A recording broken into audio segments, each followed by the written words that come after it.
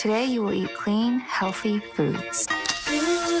After school drop off, you will go directly to ballet class. I will have a nice day. Babe, the coffee? I will eat clean, healthy food. Three famous cheeseburgers, three large fries, and a chocolate shake. Thanks. After school drop off, Mama. I will go to ballet class. It's closed. I will have a nice day. Professor Rubin is getting fired. We're gonna need money. I love you, whatever happens. You think something bad will happen? No! You're trusting this ding dong with your life. So much going for you. Do you hear that, You're Shields? shallow as a kiddie pool. Hello? Stop it! What's up, lady? Sorry. I just love this show. Like right away from I watched the first episode at TCA and my wife was able to sit down and watch it with me and it's just like the perfect amalgamation of like so many things that we're interested in whether it's like, you know, our love for the 80s or Rose Byrne, Craig Gillespie, just like all these talent yourself um and these complexly drawn characters. So there's just so much there. And I think um part of that or I guess where it comes from is style, form, and content are all coming together. And I'm curious from your standpoint as the creator, how do you keep a handle on all three of those things and and don't let that that balance fray? Oh, wow, that's a really cool question. And thank you for saying that. This show is an amalgamation of a lot of my interests too. So we have we're a similar mindset. Um, you know, it, it's really about finding the right collaborators. I mean, when I um I wrote this script from it on spec on my own. You know, it was just something, it was it was my own experience, my own vision. And uh so it was really personal. Um, so anyone else who came to it, you know, they had to come to it through, you know, um, their own interests as well. I wasn't tailoring it to anyone in the writing, you know, I was really Mhm. just trying to express what I wanted to express. And so when um when Rose picked it up and read it and connected to it, you know, I knew she was like-minded.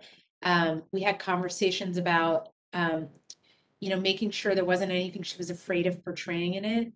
Um, she wasn't interested in tailoring any of it to her. She wasn't interested in pulling any punches. She was willing to go for it.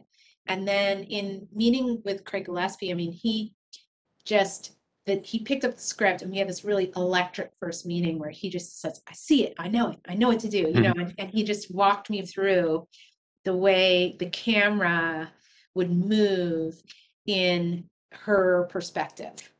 Yeah. And it just was like a real coming together of minds because I so wanted the show to come from this really unique single perspective of this woman and really kind of put you inside her head. And he knew how to translate that visually. And so anyway, I don't know if that answers your question exactly, but that was kind of the the process of of of coming together with like-minded people and knowing that my vision wasn't going to be compromised, but it was actually going to be elevated. Yeah, yeah, that that visual language of it is what sticks out right away. And and I've always, you know, loved Craig's style, whether it's, you know, I, and most recent with Cruella, like it always feels like a snake that's about looking to strike or something. It almost seems like the camera's about to run into the talent, uh, but it really Yes. puts you up in there. It's it really good. feels that way you know he he works that way. He's so dynamic. He's so energetic and he just he just like he's uncompromising in how he wants the camera to be alive and active at all times and he um it really um gives us you know there's a reason for it in the show. Like it's not it's not just for its own sake. It's because that's what her that's her what her inner life feels like. She's in turmoil. She's in crisis you know and she's about to burst. And so you feel that movement and that energy. And you know just also in terms of tone like he like you said i've been a fan of his for a long time too because i think you know he always calls it the dance like the dance of comedy Yeah. and, tr- and tragedy. And you know we're always in that dance and they're they're great i think you know comedy and drama are great dance partners you know they play off each other. And um and so i think that all really came together for us How is it for um, you know, Liza Johnson and Stephanie Laing like picking up carrying that Yeah. dance? Yeah, well, it was great because, you know, we had this wonderful um, director of photography, Paula Huidobro, and she she was, you know, Craig's partner in the pilot, and then she kind of came on board with Liza and Stephanie and just continued that visual language. Um, so she was she was kind of the connector, and you know the two of them brought certainly their own perspective and flavor to it. But I think um, having that thread come through it with Paula just was really really helpful to kind of continue the the the consistent you know cinematic language. And craig would check in with me a lot. He's like you know i get calls from him are you moving the camera? You're moving the camera you know like yeah it's like no conventional coverage no conventional coverage you know um, just uh, really being it comes down to really knowing what you want and being decisive about it and not shooting things for everybody you know shooting it for Right. you um, Yeah. and uh, so they carried on with that confidence Oh, that's good. Uh, I, I want to ask a little bit more about your your characters that you have here. Um, I know that you you just mentioned that you know you had that first script. Was there a particular point for each of these characters? Because each of these characters have something going on, and it's so fascinating, each one of them. Was there a particular moment where you're like, this is who Sheila is. Like this is who Danny is. This is who Greta is. Like do you Yeah. remember those moments and when those moments arrive does it cause you to go back to earlier moments to be like well that changes the whole perspective of this so I need to, you know, Mhm. make make that uh change some changes. Well, I think I knew um, pretty early on who Sheila was in that first scene, you know. I think it's all summed up in that looking in the mirror shot at the Yeah. beginning, you know, what she looks like and then how she thinks about herself. And that was sort of always coming back to that touchstone. Um, but s- there were some surprises, I think, with, you know, with Greta and, and with Danny and as those actors came aboard. And, you know, one of them with, with Greta was just seeing how moving it was um, to, to see the friendship evolve between her and Sheila because you know Sheila has so many walls up. and She's so invested in staying um, secretive and isolated, and Greta's warmth and ability to kind of see her and see through it and connect. It really was so much more uh, moving than I even anticipated. So it's something I just leaned into more and in you know as we went on in the story, and then you know with with Rory playing the role of Danny, he brings such a lightness and likability to the part that it kind of gave me permission to go to even darker places than I might have thought as we went forward because you can really get away with it with him because you you um you just you know you like him so much even when he's doing really deplorable deplorable things.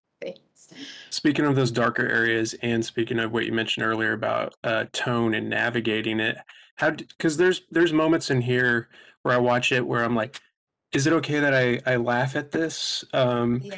and like, are there's some things that I laugh at, and then there's some different things that my wife laughs at. We both have like different experiences watching, and Yeah. that what makes it so exciting. Um, so how is it going about navigating that tone um, from not just the episode that you pinned, but just like the other ones that you're a part of too, to make sure that that carries across. Yeah, I've always been um you know interested in in in that in that kind of comedy, you know, not so much setup joke, but the kind of unsettling comedy that can, you know, bubble up for one person and not another.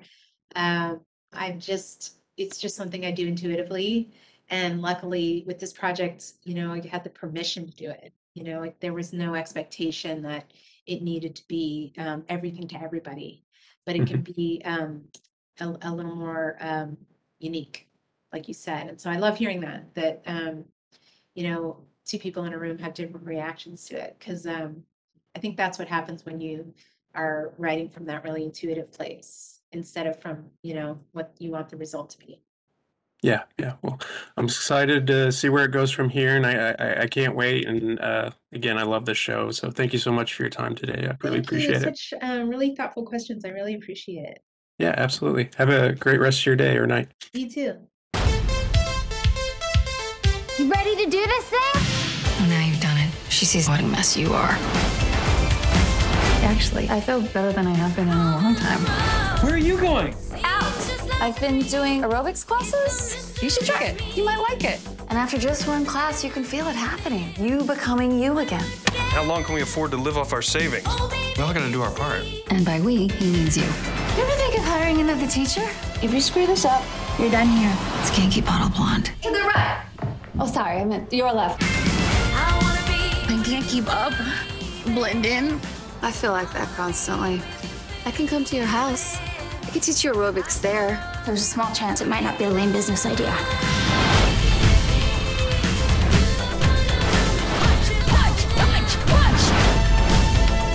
You don't know what I'm capable of.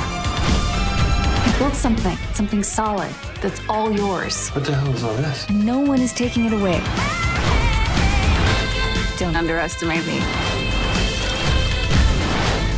Go get him, Tiger.